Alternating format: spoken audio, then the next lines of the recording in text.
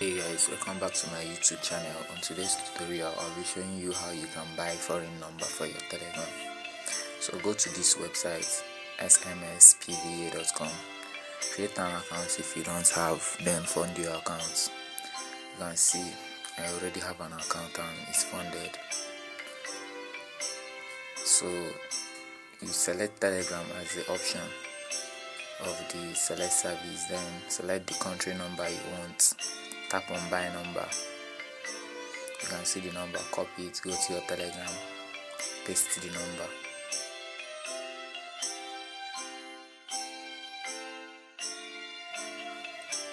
After that go back to the website and copy the one-time OTP sent.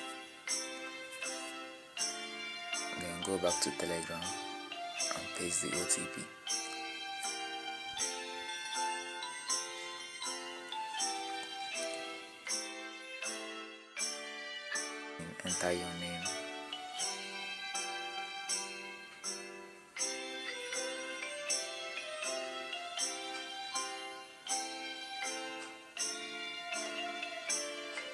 so in order to avoid getting signed out of this virtual number you go and do 2FA yeah two-factor authentication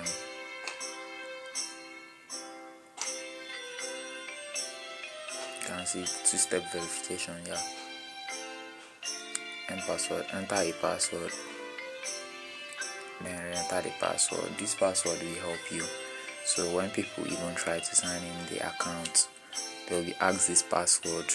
So they'll just back out. Then enter a hint that will help you remember the password. So i wrote 777 and i use shoe times 4 enter the gmail for password recovery. You can see the code. Enter the code. On your telegram app.